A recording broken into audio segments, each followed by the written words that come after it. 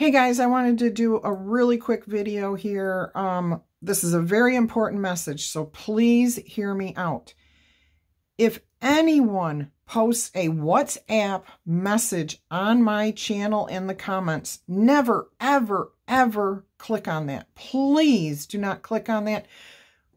Hit those three. It's a scam, okay? They are trying to get you to do something that you will regret in the future.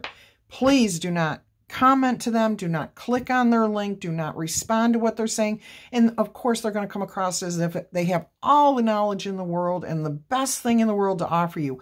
It's a scam, okay? And I care about you guys and I do not want to see you taken advantage of.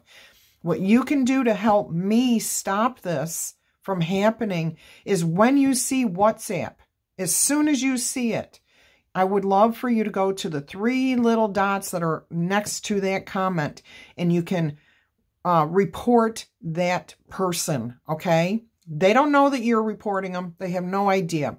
But YouTube wants to know about these things because they are trying to cut down on the scams. It And it's funny that this just started recently after I got to 10,000 um, viewers. So they wait until the channel gets a certain size audience and then post. So please, please, please do not respond to any um, WhatsApp. And I will never reach out to you and say, hey, do you want a reading from me? I will never do that. If you're interested in a personal reading, please come to my um, description box and you reach out to me. That's the only way I will ever do a personal reading. I will never, ever, ever reach out to you to sell you something, to offer you something, unless you are on my mailing list or you reach out to me first.